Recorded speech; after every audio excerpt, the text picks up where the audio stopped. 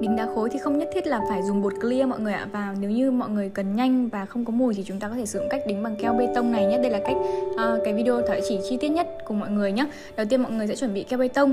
Thì keo bê tông sẽ gồm có một chai keo và một chai khô keo. Mọi người sẽ chuẩn bị một cái que gỗ và các loại cham đá cần thiết nhé.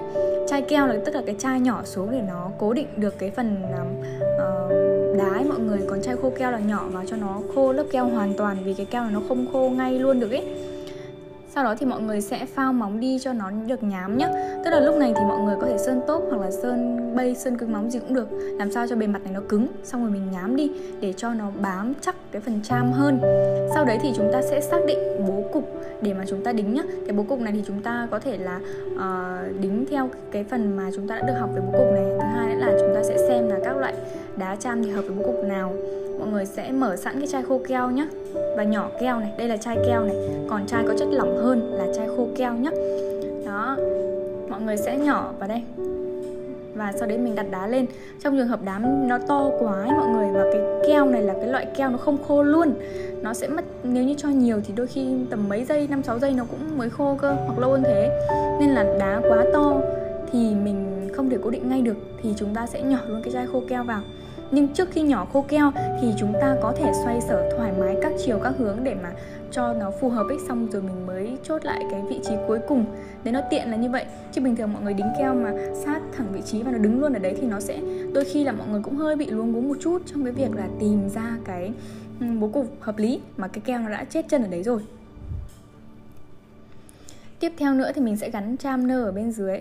Đấy, còn riêng với keo này nhá thì mọi người hãy chuẩn bị thêm các loại đá hoặc các loại bi hoặc ngọc trai gì đấy để chúng ta chèn hết vào các phần xung quanh cái cạnh của cái đá và cái cham này. Bởi vì sao? Bởi vì là chúng ta sẽ chèn hết vào đây để nó không bị hở. Cái khoảng trống là một, thứ hai là với cách đính keo ấy, thì cái keo này nó cũng đặc đấy, nhưng mà nó cũng không thể nào mà nó được sệt được chắc như cái bột clear được. Nên là chúng ta thêm bước này để giảm bớt cái bước chèn chân keo vào bên phần chân đá nhé chèn keo vào phần chân đá nhé tức là khi mình làm xong thì mình sẽ được chèn keo vào. Cho nó đầy hết phần chân đá này thì nó sẽ không bị mắc tóc. Nhưng mà cái keo này nó vẫn hơi loãng một chút đi dù là nó đặc nhá nhưng để so với bột clear thì nó vẫn hơi loãng một chút. Nên là thôi mình cứ à, bù vào những khoảng trống này là các cái đá khác. Thì chúng ta sẽ cho cái phần cham chèn cho cái phần keo chèn, chèn vào đây nó sẽ được ít hơn.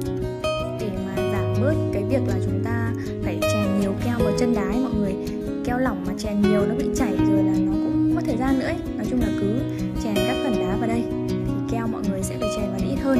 Thì vừa đỡ tốn keo lại còn vừa nhanh. Đó.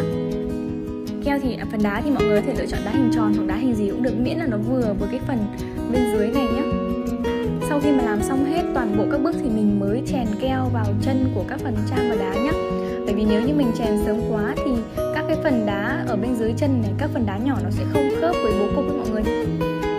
Sau khi mà đã nhỏ keo xong rồi thì mọi người sẽ nhỏ khô keo lần cuối cùng nhé để cho cái phần keo này đảm bảo được khô hoàn toàn, mọi người nhỏ kỹ một chút nhé sau khi mà nhỏ xong rồi thì bước cuối cùng đương nhiên là chúng ta sẽ sơn tốp lên rồi.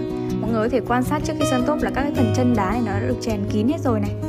Sơn tốp thì mọi người sẽ sơn và chúng ta sẽ tránh cái phần đá và cham ra nhé tại vì đôi khi chúng ta mất tiền, mua đá đắt tiền ấy, chỉ là nó sáng hơn đá bình thường thôi, nên chúng ta không có phủ tốp lên đá và khi mà ở một bố cục này thì nó sẽ có nhiều cái uh, phần khe đá nó không để luồn cây cọ của cái chai tốt vào được ấy. Thì lát nữa mọi người cứ mọi người cứ sơn hết đi xong chưa hơ đèn vội nhá. Rồi chúng ta sẽ sử dụng một cây cọ để chúng ta lấy tốt chúng ta chèn hết vào cho nó kín.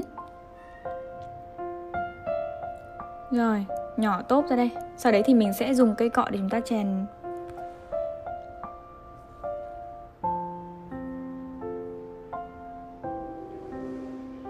Rồi dùng cọ cẩn thận nhé chúng ta cũng không chèn vào các cái phần đá này. Sau khi mà đã chèn xong rồi thì mọi người chỉ cần hơ tốt thôi mọi người hơ hai lần 99 giây là chúng ta đã xong. Đây, như vậy là mọi cái lưu ý thì Thảo đã chia sẻ hết trong video này rồi nhá. Mọi người có thể làm cách này để tránh được cái mùi ờ, của cái liquid ấy mà. Nhưng mà đính đá bằng bột clear thì cũng vẫn rất là chắc nha.